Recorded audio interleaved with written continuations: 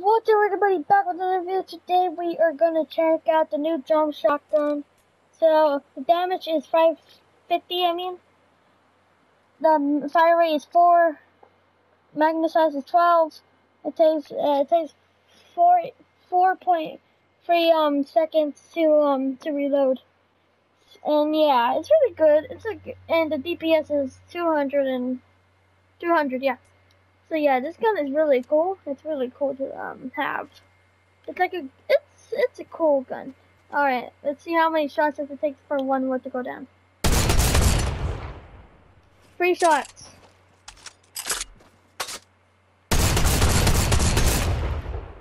Take six shots.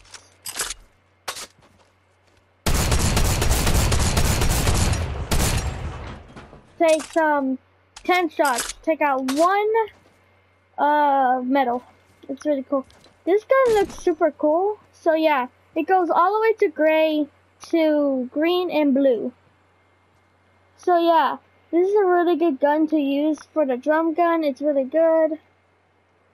So yeah, uh, okay guys, um, but this gun kind of looks familiar in one game that I played. Mmm, this is cool. Yeah, yeah. But this gun looks super familiar in one of my gameplays. What do you guys think it is? Comment down below which gun do you think it, which game is it from.